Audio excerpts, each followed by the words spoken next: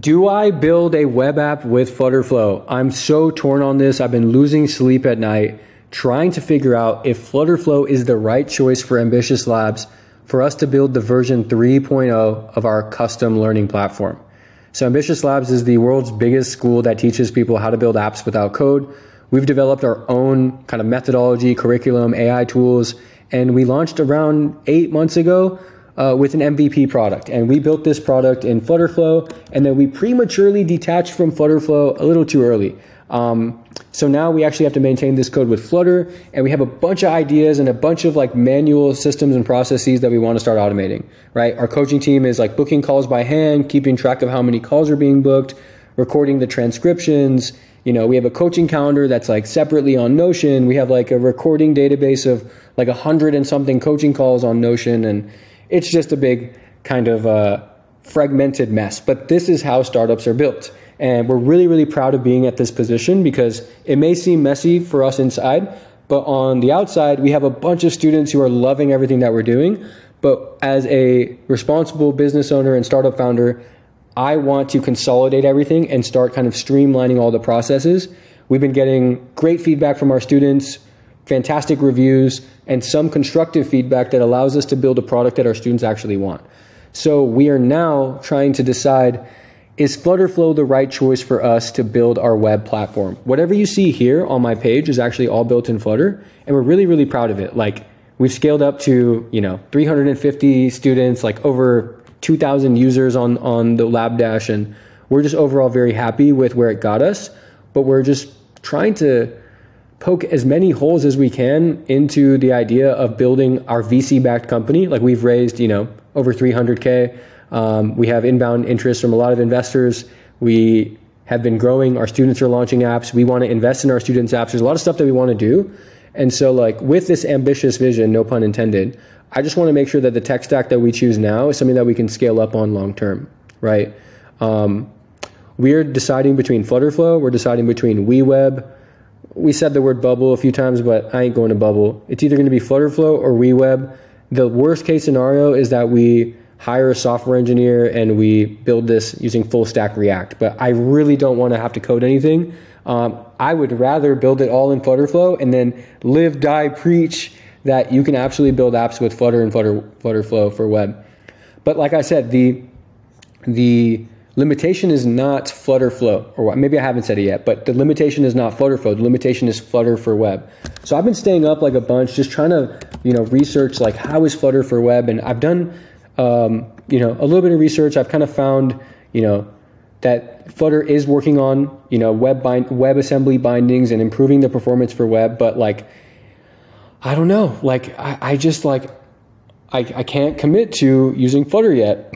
And so I posted a bunch on, on, on Twitter and I've got a lot of really cool people to respond and give me some great feedback. You know, one guy says, I, I wouldn't suggest Flutterflow for web apps at all. We've been doing all web apps on Bubble or React. And then, you know, Leah, the uh, um, head of product at Flutter, excuse me, the head of developer relations at Flutterflow. She used to work at Flutter as well. I met her in person. She actually jumped in and said, you know, why do you, what do you find bad about Flutter for web apps? She's not pushing back. She just wants to know what her perception is. So I kind of stirred up this whole conversation about, you know, Flutter for web. And someone says, you know, very poor performance on web. And someone says, how recently did you try? Is this just Flutterflow or Flutter itself? She says the Flutter team has been working on a ton of web performance stuff um, and then I also chipped in.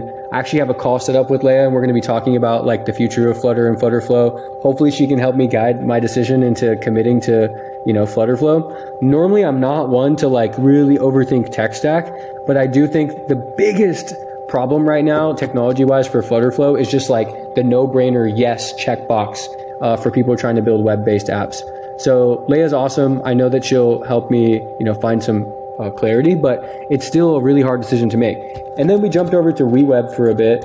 Um, I think WeWeb has opportunity. Um, I've jumped into it. Has a really kind of standard, you know, no-code app builder layout. They've they all kind of look the same. At least the high-end ones look the same. The one thing I like about WeWeb is that you can code export, but um, I haven't actually R&D'd the quality of the code yet. I will soon. Um, and then they also like cap you out at monthly app visits. And I don't want to build a company where I'm paying somebody else, uh, especially WeWeb. I'll pay Firebase, I'll pay Revenue Cat, I'll pay you know, a hosting service, but I'm really not trying to pay like a company uh, as my venture, you know, scales. I, I don't think that's reasonable. I, I want to have control, which is one reason I'm, I'm gearing toward Flutterflow. Um, so yeah, there was this conversation, and then looking a, a bit back, um, we had some other conversations going on. One person said that they still don't use Flutter. Um, you know, one person says, you know, if you bootstrap your way with a tech founder and a business founder with low code and then two hires at seed to make it rock, pretty much what they're saying is like, start lean, build the app yourself, um, you know, use low code, no code tools, and then potentially like when you go raise VC, which is what seed means, like whenever you go raise that million, two million, three million seed round, you can then at that point decide, hey, do I want to build my own platform? Um,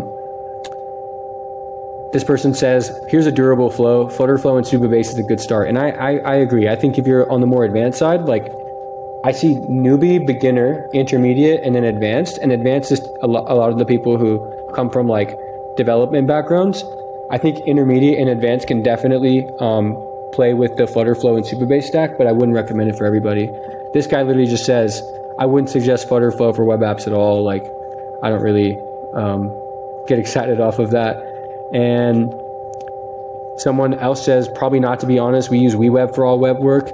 But what's like super sad is that like I really want to use Flutterflow. Like I love the interface of Flutterflow. I love how easy they've, you know, uh, made it to make apps, and it's just awesome. Like, but it's just really concerning that I can't commit to it. I do have a builder in my community who has built like this really robust web platform in Flutterflow. Um, I used it. It works really well. Like all the CRUD logic, the business logic, everything works really well, except um, you can see that there are some lags. Like when you're scrolling through big lists or when you're clicking between links pretty quickly, there is definitely some lag there. And it's obvious. And I really don't want to give my users that experience. That's one. Another is like if we go raise 2 million in seed, which I want to do later this year, um, do I see this product being something that I can scale a ton of user acquisition to? Or am I going to have to rebuild it? And I hate going into a business knowing that I'm going to have to rebuild something. So that's kind of where I'm at. I'll keep you posted. Ambitious Labs is growing really quickly. If you're interested in learning more about our programs, um, definitely hit us up. Uh, I'll leave a link in the comments to book a free discovery call.